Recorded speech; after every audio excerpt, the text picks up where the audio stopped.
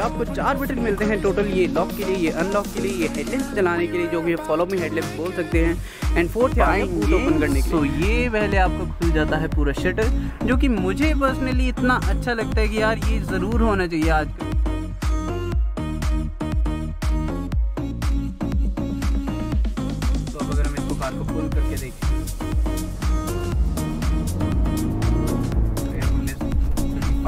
Five hundred R P gear change करा first gear ये आपकी पहुँच जाती है अराउंड सिक्सटी सेकेंड गेयर में एंड अब हमें थर्ड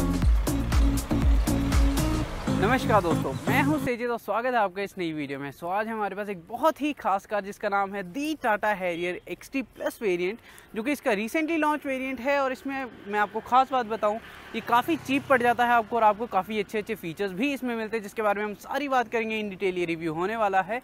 तो हम आगे चलते हैं और फटाफट इसके ड्राइव इंप्रेशन के बारे में भी बात करेंगे। ये आ जाती है ऐसी कुछ इसकी की जिसपे आपको चार बटन मिलते हैं टोटल ये लॉक के लिए ये अनलॉक के लिए ये हेडलैम्प चलाने के लिए जो कि फॉलो में हेडलैम्प बोल सकते हैं। एंड फोर्थ आ गया बूट ओपन करने के लिए। सबसे पहले अगर कार को अनलॉक करके देखा जाए तो ये हमने एक बार प्रेस करा तो आपके ब्लिंकर्स चल जाते हैं और आपके ऑटो फोल्डेबल मिरर्स हैं वो भी आपके खुल जाते हैं। एंड अगर आपको यहीं से हेडलैम्प्स ऑन करने हैं तो जैसे फॉलो में हेडलैम्प जिनकी मैं बात कर रहा था एक बार इसको आप प्रेस करें। सो ये देखिए, यहाँ पे आपके ऊपर डी जो कि हमेशा चलते रहते हैं, वो ऑन हो जाएँगे एंड नीचे आपका हल्का सा प्रोजेक्ट हेडलैम्प वो ऑन हो जाएगा। बट अभी हम इनको कर देते हैं कार को वापस लॉक आगे धीरे धीरे सालों की बात करेंगे। सबसे पहले अगर बात करी जाए इसके फ्रंट की तो इधर आपको देखने को मिलता है हैरियर का बैज मतलब यहाँ पे लिखा हुआ है हैरियर हैरियर बहुत बड़ा बड़ा एंड इधर ये आगे आपका टाटा का लोगो इधर ये आपके आगे डी आर एल्स एंड इधर ये आपको एच आई डी लैम्प्स मिल जाते हैं विद आपका प्रोजेक्टर सेटअप एंड नीचे फॉग लैम्प में भी आपको बहुत ही अच्छा सा ये छोटी मिलती है, आपको लगता है छोटी बट इसकी थ्रो काफ़ी रात को अच्छी है। बट ये आपको यहाँ पे मिलता है हेलोजन बल्ब आगे अगर बात करी जाए तो इस साइड भी आपको सेम मिलता है। जो टा जो ओवरऑल साइज़ है कार का, वो काफ़ी मैसिव है, काफ़ी अच्छी इसकी अपील है। ये डी एट प्लेटफॉर्म पर बनी है जो कि आता है सीधा लैंड रोवर से बट अब ये टाटा है तो टाटा और लैंड रोवर दोनों का ओनर जो है वो है एक। सो उसके डिज़ाइन एग्जैक्टली कॉपी करा हुआ है, ये बिल्कुल रेंज रोवर स्पोर्ट की तरह ही लगती है। सो इधर सबसे पहले बात करिए सो इधर ही आपको मिल जाते हैं अपोलो के अच्छे खासे आपको टायर जिनका साइज़ है two thirty five slash sixty five R seventeen जो कि काफ़ी अच्छा काफ़ी मैसिव साइज़ है। अगर आप ये देखेंगे, जो वेट है टायर की, वो काफ़ी अच्छी है, जो कि आपको काफ़ी ज़्यादा सपोर्ट करती है। बिकॉज़ आप देखेंगे, जो कार का साइज़ है, वो काफ़ी बड़ा है तो इसमें इतने बड़े टायर्स होने ही चाहिए। एंड अगर आप इससे नेक्स्ट नंबर टायर पड़वाएँगे तो कार की और भी जो स्टेबिलिटी है वो बढ़ जाएगी। एंड इधर अगर आप बात करें तो इधर आपको मिल जाता है request sensor car lock unlock करने के लिए। एंड इस साइड अगर आप देखेंगे ये थोड़ा सा आपको क्रॉम में इधर मिल जाता है। एंड इधर लिखा हुआ है हैरियर अगर आप उसको देख सकते हैं जो कि काफ़ी अच्छा लुक देता है। एंड मैं एक चीज़ आपको दिखाना भूल गया। सो so, इधर बड़ी ही नीटली इन्होंने एक शेर यहाँ पे बनाया हुआ है अगर आपको दिख रहा है। अगर इधर थोड़ी सी धूप ज़्यादा है तो हम इस साइड ट्राई करते हैं। सो so, ये देखिए ये इधर एक शेर का ये थोड़े मोटे छोटे मोटे छोटे मोटे ऐसे लोगोज आपको देखने को मिलते हैं जो कि कार को और भी ज़्यादा अट्रैक्टिव बना देते हैं। एंड ये आपको पूरी क्रॉम फिनिश के साथ यहाँ पे ग्रिल मिलती है। बाकी पीछे की बात करिए तो काफ़ी इधर भी अच्छे हेडलैम्प्स आपको देखने को मिलते हैं। ये प्रॉपर अगर आप साइड से देखेंगे प्रॉपर जो आपके रेंज रोवर में आता था वैसा ही प्रॉपर डिज़ाइन आता है। इसमें बिल्कुल भी आपको दिक्कत नहीं आती कि बिल्कुल भी आपको कोई ऐसा कहेगा कि इसका ऐसा लुक अच्छा नहीं है। या ऐसा कुछ, अगर नीचे की बात करिए तो इधर आपको मिल जाते हैं सेंसर्स इंडिया आ गया आपका रिवर्स पार्किंग कैमरा एंड ये टाटा का ऑब्वियसली लोगो ये। यहाँ पे भी थोड़ी बिल्कुल ब्लैक में फिनिश आती है जो कार को और अच्छा अट्रैक्टिव लुक देती है। एंड यहाँ पे लिखा है vocal for local local because obviously Indian made है इंडियन ब्रांड है। सो ऑब्वियसली ये लिखा आना ही था। एंड इधर अगर बात करी जाए तो ये आ गया high mount tail lamp and ये इसका वॉशर जो वॉशर है, काफ़ी अच्छा है, जिसका थ्रो आप देखेंगे, काफ़ी ज़्यादा अच्छा है। एंड ये आपके आगे रियर वाइपर एंड ये यहाँ पे रियर डी फॉगर सो काफ़ी अच्छा ओवरऑल लुक है कार का। एंड पीछे की अब अगर बात करी जाए सो कार को हमें, हमने लॉक कर दी थी सो इधर से जैसे हम करते हैं कार को अनलॉक सो पीछे अगर सबसे पहले बात करी जाए सो यहाँ पे एक आपको सबसे अच्छी चीज़ मिलती है, यहाँ पे छोटा सा ये मोबाइल के लिए कंपार्टमेंट इन्होंने दिया है। बॉटल होल्डर्स वगैरह वो सब आपको मिलते हैं बट ये मैंने पहली बार ऐसा देखा था इस सेगमेंट की कार में कि ऐसा मोबाइल रखने के लिए स्पेसिफिकली ऐसी जगह दी हुई है। बाकी अगर इधर बात करी जाए तो ये आगे इसके स्पीकर्स जो एक्जेड प्लस वेरियंट है, उसमें आपको JBL के अच्छा खासा साउंड सिस्टम मिल जाता है बट इसमें भी आपको बिल्कुल भी दिक्कत नहीं आती। है अगर आपने वो साउंड चेक करनी है कि इसके स्पीकर की कैसे है तो नीचे आपको इंस्टाग्राम का मेरा अकाउंट दिख रहा होगा, उस पेज पर जाइए। वहाँ पर रील्स में मैंने अपलोड करा हुआ है कि इसके कैसी साउंड क्वालिटी है। एंड अगर अगली बात करी जाए तो इधर ही आगे इसका ग्रैब हैंडल एंड ये अच्छी खासी क्रॉम गार्निश के साथ क्रॉम फिनिश नहीं क्रॉम गार्निश कह सकते हैं इसको। सो so, इधर ही आपको लॉक एंड लॉक करने के लिए मिल जाता है ये आगे पावर विंडो का स्विच यूजुअली अगर आप देखेंगे रेंज रोवर वगैरह में यहाँ मिलता है। तो इसमें भी उतनी ही जगह है बट बिल्कुल सेम कॉपी ना करके। सो यहाँ दिए हैं इसके पावर विंडो के स्विच बाकी अगर पीछे की सीट्स की बात करें, जो जो यहाँ पे यूज़ हुआ है फैब्रिक वो काफ़ी अच्छा है। लेदर नहीं है फैब्रिक अपहोल्स्टरी यूज़ हुई है, जो कि काफ़ी अच्छा लुक देती है आपको। एंड अगर कंफर्ट की बात करिए तो कंफर्ट भी काफ़ी अच्छा है। पाँच लोग आराम से बैठ सकते हैं बिकॉज़ आप देखेंगे, मेरे यहाँ पे बैठने के बाद भी इतनी जगह है, जो कि काफ़ी अच्छी है। आराम से पाँच लोग इधर बैठ सकते हैं। एंड अगर नीचे देखा जाए सो इधर आपको अच्छे खासे फास्ट चार्जर मिलते हैं। दो यहाँ पे नीचे पोर्ट्स मिल जाते हैं। जो कि शायद से लाइट कम है तो आपको दिखेंगे नहीं बट यहाँ पे नीचे दो पोर्ट्स पोर्ट्स मिलते हैं। एंड इधर भी छोटा मोटा अगर आप चार्जिंग में फ़ोन लगाएँगे तो यहाँ पे आप रख सकते हैं। तो सबसे जो अच्छी चीज़ आती है, वो आती है इसकी ये पेनारोमिक सन जो कि अलग ही लेवल का इसको अच्छा बना देती है, बिल्कुल वर्थ बना देती है बिकॉज़ आप इस सेगमेंट में देखेंगे पेनारोमिक सनरूफ सिर्फ़ क्रेटा में आती थी बट उसमें इतना अच्छा इंजन नहीं आता था बट इसमें पेनारोमिक सनरूफ आती है। 2000 सीसी का इतना अच्छा टू लीटर का डीजल इंजन आता है, जो कि उससे काफ़ी ज़्यादा पावर भी प्रोड्यूस करता है। उसकी भी आगे ड्राइविंग के टाइम बात करेंगे। बाकी अगर नीचे लेग रूम देखा जाए तो लेग रूम काफ़ी ठीक है, ये मैंने सीट अपने हिसाब से सेट करी हुई है and my height is around five ten five eleven so उसके बाद भी देखिए, यहाँ पे कितना मेरे को नी रूम मिलता है, कितनी अच्छी मुझे यहाँ पे फील आ रही है। बिल्कुल भी यहाँ पे आपको दिक्कत नहीं आती है। एंड ऑब्वियसली कार की हाइट इतनी ज़्यादा है 205 मिलीमीटर mm का ग्राउंड क्लियरेंस है। सो आपको उसमें बिल्कुल भी दिक्कत नहीं आती है कि क्योंकि आप इतनी ऊपर बैठते हैं आप अगर यहाँ से देखेंगे बिल्कुल जो इसका अप्रोच एंड डिपार्चर एंगल है यहाँ पर थोड़ी सी झाड़ियाँ आ रही हैं हम उस साइड से दिखाते हैं आपको। सो so, इधर अगर आप देखेंगे जो अप्रोच एंड डिपार्चर एंगल है कार का वो काफ़ी अच्छा है। बिल्कुल भी आपको ऐसी टेंशन लेने की ज़रूरत नहीं है कि इंडियन रोड्स पे बिल्कुल भी ये नीचे लगेगी ऐसी कोई दिक्कत आपको नहीं आएगी। बाकी ऊपर ऑब्वियसली ऐसा कुछ दिखता है इसका ऊपर से पेनोरामिक सनरूफ एंड ये यहाँ पे आगे इसका एंटीना सो so, पीछे से लुक ओवरऑल अगर आप देखना चाहें सो so, ऐसा लुक आता है जो कि मुझे पर्सनली काफ़ी अच्छी लगता है। काफ़ी अच्छा लगता है। एंड इधर ये थोड़ा सा यहाँ पे फेक ट्रीटमेंट दिया हुआ है प्लास्टिक का जो कि मतलब इतना कुछ खास फ़र्क इससे नहीं आता है। लुक को थोड़ा इन्हांस कर दिया एंड वाइट या कोई भी लाइट कलर लेंगे उसमें ही आपको दिखता है। ब्लैक में तो आपको बिल्कुल भी पता नहीं लगेगा। एंड यहाँ पे थोड़ा सा ये फेक एग्जॉस्ट का ट्रीटमेंट एक इस साइड एंड एक उस साइड ये आ गया आपके रिफ्लेक्टर बट असली अगर आप देखेंगे, वो आपको मिलता है एग्जॉस्ट यहाँ पे।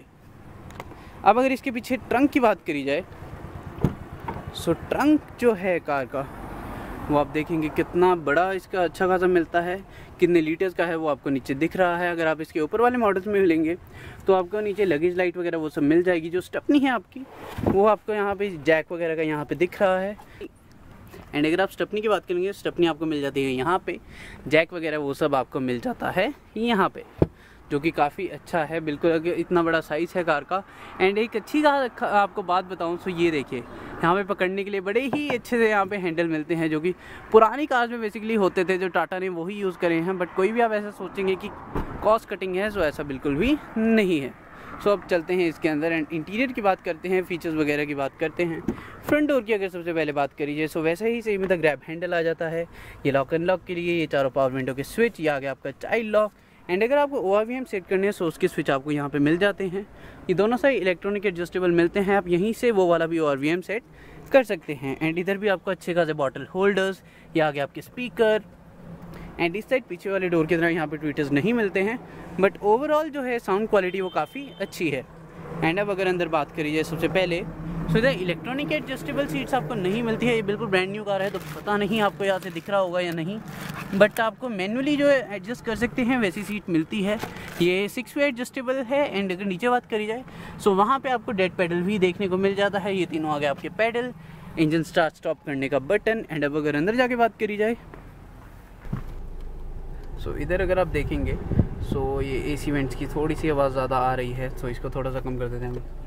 सो so, इधर अगर आप देखेंगे सबसे पहले बाहर थोड़ी सी आवाज़ शायद से आपको ठीक नहीं आ रही थी वो इसलिए था बिकॉज़ गर्मी इतनी ज़्यादा हो रही है सो उसकी वजह से थोड़ी आवाज़ इधर उधर हो रही थी बार बार बट अंदर अब ठीक है सब कुछ। सो इधर अगर आप बात करें तो सबसे पहले आपको इधर वॉल्यूम कंट्रोल्स के मिल जाते हैं ये ट्रैक करने के लिए ये आगे आपके वॉइस कमांड के ये ब्लूटूथ कनेक्टिविटी वगैरह के लिए call cut and call receive के लिए। एंड ये यहाँ पे सबसे अच्छी चीज़ आपको मिल जाती है कि आपको क्रोज क्रूज कंट्रोल्स के भी यहाँ पे मिल जाते हैं सारे कि आप यहीं से मैनेज कर सकते हैं। यूजली कार्स वगैरह में यहाँ पे भी कुछ देखने को मिलते हैं कि क्रूज कंट्रोल के। बट टाटा में अगर आप इस प्राइस के साथ बात करेंगे एक्सटी प्लस वेरियंट में ही आपको ये चीज़ें मिल जाती हैं।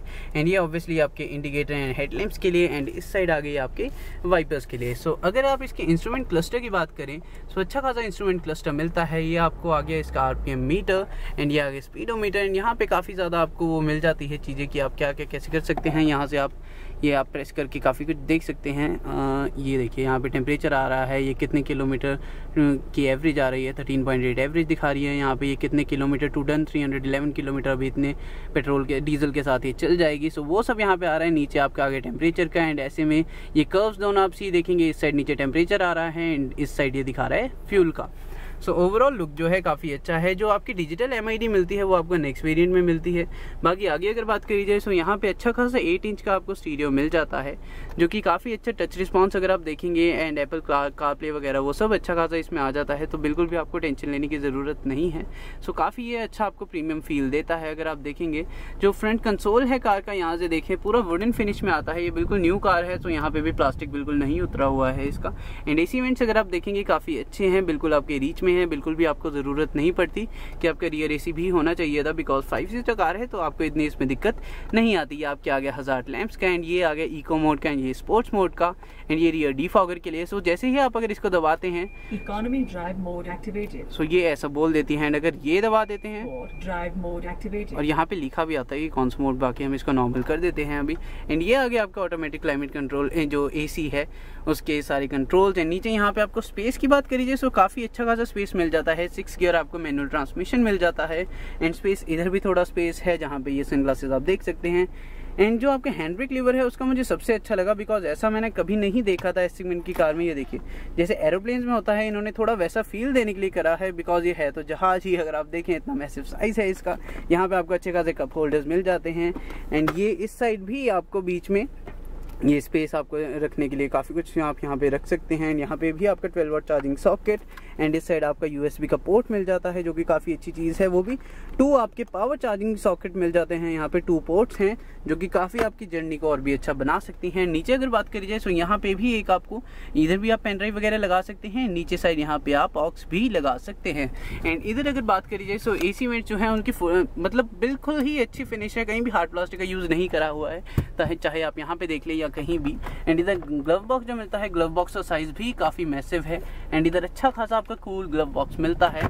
एम्बियट लाइटिंग वगैरह वो इसमें वेरिएंट में नहीं होती। बाकी सबसे अच्छी चीज़ जो मैं आपको बताऊँ इस कार में होती है, वो है इसकी पेनारोमिक सनरूफ सो ये देखिए, अगर आप इसको ऐसे दबाएँगे सो ये पहले आपका खुल जाता है पूरा शटर जो कि मुझे पर्सनली इतना अच्छा लगता है कि यार ये ज़रूर होना चाहिए। आजकल की कार में जो ऐसा फील देती है ना, ये जो पैनारोमिक सनरूफ के साथ फील है, वो कहीं और नहीं हो सकती। देखिए, आप इसका साइज़ कितना बड़ा है, कितनी अच्छी पैनारोमिक सनरूफ आपको मिलती है।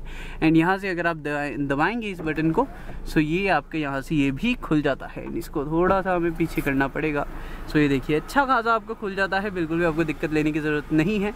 बट हवा बाहर काफ़ी ज़्यादा चल रही है, गर्मी काफ़ी ज़्यादा है तो हम इसको फ़िलहाल अभी बंद कर देते हैं। सो आगे अगर बात करी जाए, हम इस कार को ड्राइव करके देखते हैं एंड सबसे पहले मैं आपको बताऊँ, अगर आप लाइट्स देखेंगे सो ये आप, आपको यहाँ से बटन दबाना पड़ेगा। सो ब्लू लाइट्स मिलती हैं येलो जो नॉर्मल लाइट्स आती थी, वो आपको नहीं मिलती है। तो उसमें भी आपको बिल्कुल कॉम्प्रोमाइज़ यहाँ पे नहीं करना पड़ता। इस साइड अगर आप देखेंगे वैनिटी मिरर आपको नहीं मिलता है। थोड़ी सी कॉस्ट कटिंग है बट इतना कुछ आपको इशू नहीं आता है। ना इस साइड आपको टिकट होल्डर्स वगैरह मिलते हैं। सो उसमें थोड़ी सी पीछे रह गई है बट इसमें कुछ खास इतनी दिक्कत आपको नहीं आती है। बाकी इसको हम सनशेड को यहाँ से बंद कर देते हैं।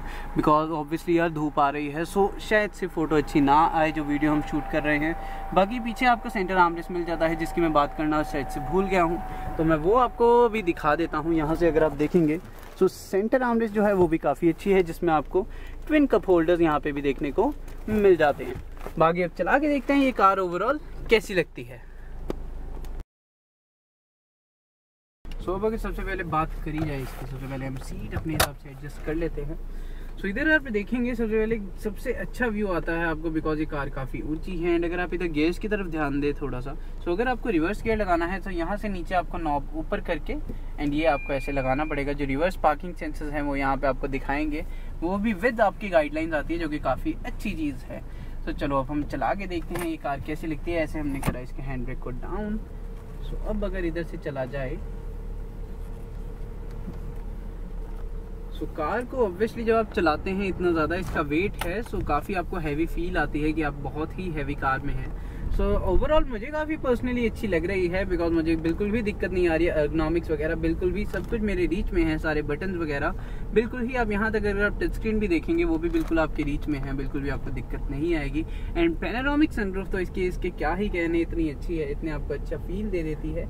सो so, मैंने थोड़ी सी चीज़ आपको गलत बता दी थी कि नीचे आपका टेम्परेचर आ रहा है। सो so, नीचे टेम्परेचर नहीं आ रहा है। जो नीचे ऐसे आपका सी बना हुआ है अगर आप उधर ध्यान देंगे सो so, वो आपका आ रहा है टोटल पावर का कि कितनी पावर आपकी कार जनरेट कर रही है। एंड अगर इसका आप टर्निंग रेडियस देखिए वो भी काफ़ी अच्छा है। थोड़ी सी बड़ी कार है बट स्टिल बट ठीक है इसका काफ़ी ठीक है अगर आप देखेंगे।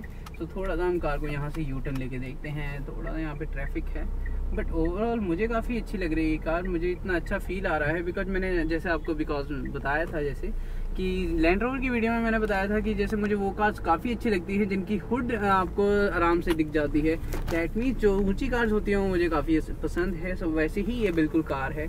चाहे ये फाइव सीटर सेगमेंट है अंडर अंडर ट्वेंटी लैख से आपको मिल जाती है, जो कि काफ़ी अच्छी चीज़ है यार, अगर आप देखेंगे।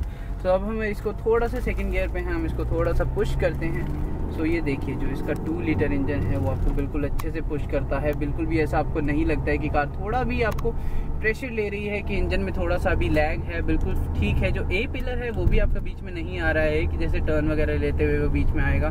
सो बिल्कुल भी आपको इशू लेने की ज़रूरत नहीं है। ये अच्छा सा यहाँ पे कर्व आया है, जिसे हम इसका बॉडी रोल टेस्ट करते हैं। ये कार कितना बॉडी रोल लेती है? सो ये देखिए। सो आई डोंट थिंक कि बिल्कुल भी खास इसमें बॉडी रोल आया है जितनी इतना वेट है सो थोड़ा बहुत तो आपको ऑब्वियसली लगेगा ही। एंड अगर गियर शिफ्ट इंडिकेटर्स की बात करिए तो जैसे ही आप 2000 आरपीएम के नियर होते हैं 18 1900 आरपीएम पे आपके आ जाता है कि 11 गियर आप शिफ्ट करिए। सो बाकी अगर बात करिए सस्पेंशन की, ये देखिए, यहाँ पे अच्छे खासे स्पीड ब्रेकर्स भी है तो सस्पेंशन भी काफ़ी ठीक है। इसमें आपको बिल्कुल भी दिक्कत नहीं आती कि सस्पेंशन की तरफ़ से आपको थोड़ी सी भी टेंशन लेने की ज़रूरत है। ये कार बिल्कुल इंडियन रोड्स के हिसाब से बनी हुई है। जैसे इंडियन रोड्स हैं, बिल्कुल उसके हिसाब से बनी हुई है। जो हॉर्न है इसमें, वो उससे मैं थोड़ा सा डिसअपॉइंट हुआ हूँ बिकॉज़ हॉर्न आप देखिए, हॉर्न थोड़ा सा अगर आप, जो इसका मेन होता है, जैसे क्रेटा वगैरह में आता है, अगर वैसा हॉर्न होता तो मुझे ये ज़्यादा अच्छा लगता बट वैसा ये नहीं है। बाकी अगर आगे बात करी जाए, यहाँ से हम टर्न लेके आपको दिखाते हैं, इसको थोड़ा सा पुल करके देखते हैं कार को तो हमने 500 आरपीएम पे गियर चेंज करा फ़र्स्ट गियर एंड ये आपकी पहुँच जाती है अराउंड 60 सेकंड गियर में. एंड अब हमें थर्ड गियर में बिल्कुल भी मुझे टेंशन लेने की ज़रूरत नहीं है कार इतनी एफिशिएंटली जा रही है. ये आपकी थोड़ा स्पीड लिमिट के लिए थोड़ा सा अगर आपको अलार्म सुना है. तो एटी नाइनटी तक इतने अच्छे से रीच कर जाती है, जो इसका पावरफुल इंजन है, ये पहली ऐसी कार है जिसका बी एस सिक्स होने के बाद भी इवन उसकी पावर बढ़ चुकी है. काफ़ी कार्स में ऐसा हो रहा है कि यार पावर कम हो रही है बी एस सिक्स होने के बाद बट इसमें ऐसा बिल्कुल भी नहीं हो रहा है. मुझे बस कुछ नहीं पता कि मैं कैसे बोल रहा हूँ। मे भी हो सकता है डायलॉग थोड़ी इधर उधर हो रहे हैं या मैं थोड़ा इधर उधर बोल रहा हूँ बिकॉज़ मुझे इतना मज़ा आ रहा है इस कार को ड्राइव करने में। इसकी जो फील है कार की इस ये एक फ्लैगशिप कार बन चुकी है टाटा की। बिकॉज़ आप देखेंगे इंडिका वगैरह इंडिको उस टाइम ये कार काफ़ी अच्छी चलती थी। बट अब अगर आप देखेंगे बीच में जब जेस्ट बोल्ट वो वाला टाइम आया था तो थोड़ी सी टाटा टाउन चली गई थी मारुति हेंडाई इन सबने थोड़ा इसको लीड ले ली थी बट ये कार ऐसी आई है ये हो गई नेक्सन हो गई एल्ट्रोस हो गई जिन्होंने इसकी मार्केट फिर से रीगेन करी है। एंड अगर आप देखेंगे फील इसका इतना प्यारा है कार का मैं पता नहीं इतनी तेज क्यों बोल रहा हूँ बिकॉज़ कार इतनी तेज चल रही है। बिकॉज़ मुझे इतना ज़्यादा मज़ा आ रहा है मैं बस इंजॉय कर रहा हूँ कि अच्छी कार है। A few moments later. आगे अगर बात करी जाए सो so, एक तो इसकी रोड प्रेजेंस जो आप देखेंगे कार की इतनी प्यारी है इतनी आपको अच्छी अगर आप दूर से देखेंगे इतनी अच्छी कार लगती है। ये मैंने नहीं सोचा था कि टाटा भी इतना इन्वेस्ट कर सकती है एंड इतनी बजट कार दे सकती है। बिकॉज़ आप देखेंगे रतन सर ने ऐसी कार्स बनाई हैं जो कि बिल्कुल बजट कार्स भी हैं एंड रेंज रोवर जैगवार जैसी भी काफ़ी हाई एंड कार्स भी बनाई हैं। बट ये आती है कि आपको इसमें लुक मिल जाता है रेंज रोवर वगैरह का एंड फील मिल जाती है टाटा की जो मतलब Tata means in the sense कि रिलायबिलिटी बिल्ड क्वालिटी वो सब आपको वहाँ से मिलती है जो कि काफ़ी अच्छी चीज़ है। सो so, बिल्कुल भी आप इसके बारे में देख ही चुके होंगे। इंस्टाग्राम फेसबुक यूट्यूब हर जगह ये कार इसीलिए फ़ेमस है बिकॉज़ इसकी जो बिल्ड क्वालिटी है इतने अच्छे इसको एन कैप रेटिंग मिली हुई है। बिल्कुल सॉलिड कार है वो आपको कार चला के आप एक बार टेस्ट ड्राइव लेके देखें। अगर आप सोच रहे हैं कि आप लेंगे सेल्टोस या हेंडाई हाँ ठीक है क्रेटा वगैरह वो सब अच्छी कार्स हैं बट आप एक बार इसकी ज़रूर टेस्ट ड्राइव लें। चाहे आपको थोड़ी बहुत ही महँगी लग सकती है कि एक डेढ़ लाख का फ़र्क आ रहा है बट जो फील आपको इस कार में मिलेगा मैं आपको दावा कर सकता हूँ बिल्कुल भी कि आपको और किसी कार में, इस सेगमेंट में, चाहे आप उसका टर्बो इंजन ले लीजिए बट इसका सिंपल ही टू लीटर का इंजन आपको खुश कर देगा। आपको लेकिन ऐसा नहीं है कि मैं ऐसे जानबूझ के तारीफ़ कर रहा हूँ या ऐसा कुछ बिकॉज़ मैंने चला के भी देखे, मैं हमेशा आपको जेन्यून रिव्यूज़ देता हूँ। जैसे मुझे लगता है, जैसी मुझे थोड़ी बहुत कमी लगी, जैसे वैनिटी मिरर वगैरह की, वो मैंने आपको बताई। जो कमी है, वो कमी है बट जो इंजन की बात है, अगर आप देखेंगे सो वो तारीफ़ तो इसके लिए बनती है माइलेज की अगर बात करी जाए सो आप अगर इसको जैसे यहाँ पे दिखा रहा है ये हमने देखा था। सो इसकी माइलेज आ रही है अभी। 13.6 की माइलेज दिखा रहा है बिकॉज़ ऑब्वियसली अभी हमने थोड़ा सा रेफ करा था इंजन को। उसकी वजह से इतनी माइलेज आ रही है कि कम। बट वैसे अगर देखा जाए 14, 15, 16 तक भी ले सकते हैं। एंड अगर आप बहुत ज़्यादा हार्श ड्राइविंग करते हैं सो आपकी 8, 9 तक भी आ सकती है। जो कि बिल्कुल ठीक है इतना बड़ा इंजन है इतनी भारी कार है सो ऑब्वियसली थोड़ा बहुत आपको कॉम्प्रोमाइज़ यहाँ पे करना पड़ेगा। बट बिल्कुल अगर आप पूछेंगे कि ये वैल्यू फॉर मनी है या नहीं है सो ऐसा बिल्कुल है। ये बिल्कुल वैल्यू फॉर मनी कार है इसमें आपको बिल्कुल भी दिक्कत लेने की ज़रूरत नहीं सो so, ये था कुछ इसका रिव्यू जो मैं करना चाहता था। मुझे पर्सनली ये कार काफ़ी अच्छी लगी है। एंड अगर आपका बजट आता है ट्वेंटी लैख से अंडर कि ट्वेंटी लैख तक सो आप बिल्कुल आके बंद करके इसके लिए जा सकते हैं। ये कार काफ़ी अच्छी है काफ़ी सूदिंग है बिल्कुल वैल्यू फॉर मनी है। पैनामिक सनरिफ के क्या ही कहने उसने तो दिल ही ले लिया है। इंजन इसका इतना अच्छा है। बिल्कुल भी आपको सोचने की ज़रूरत नहीं है। So tata bye bye thank you so much for watching do subscribe the channel hit the bell icon अगर आपने अभी तक नहीं करा है। आई कान जस्ट वेट तो मैं इसको फिर से लेके जा रहा हूँ ड्राइव करने के लिए। Bye bye take care